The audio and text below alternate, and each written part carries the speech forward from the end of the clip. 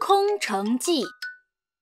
蜀国的诸葛亮驻守西城县，只带了两千五百军士和一群文官。忽然哨兵来报，司马懿带了大军十五万向我们杀过来了。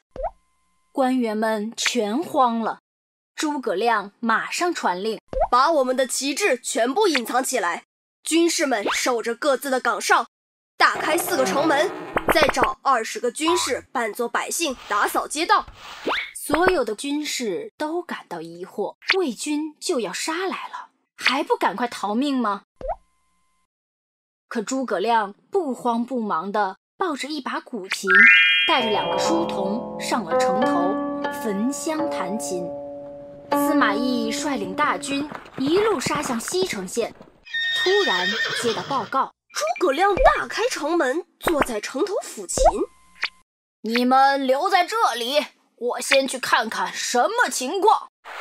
司马懿和儿子司马昭带着一小队人马来到城门，果然看见诸葛亮正坐在城楼上抚琴，琴声悠然动听。城门大开，只有一些百姓在低头打扫，一切十分平静。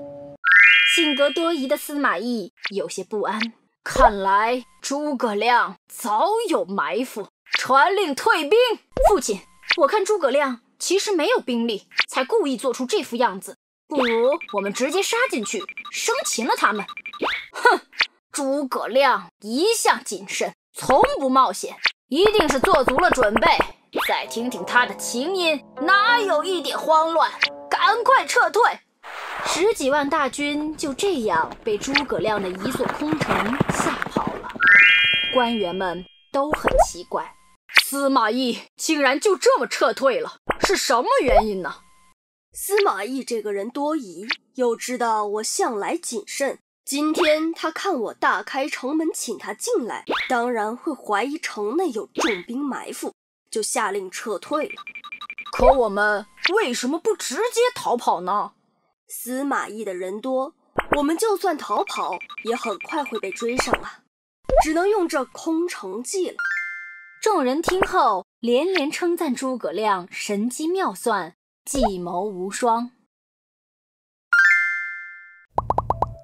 Nice cat，点击订阅我们吧。